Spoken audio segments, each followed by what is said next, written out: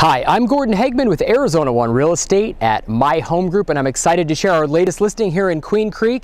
It has a gorgeous sparkling pool, solar three car garage. I can't wait for you to see the mountain view. Let's go take a look.